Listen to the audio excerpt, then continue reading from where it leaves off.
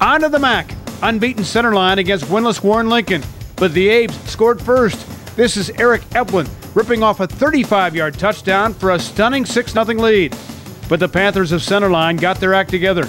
Mark May carried the load, 147 yards on the ground, and a pair of TDs. And how about quarterback Jason Graham? He traveled 65 yards for this touchdown, and on defense, he added to his interception total, which is now seven, a school record for only four games.